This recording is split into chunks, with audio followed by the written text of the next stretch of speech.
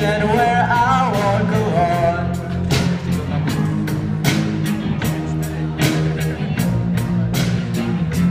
Read between the lines What's fucked up when everything's alright Check my vital signs to know I'm still alive and I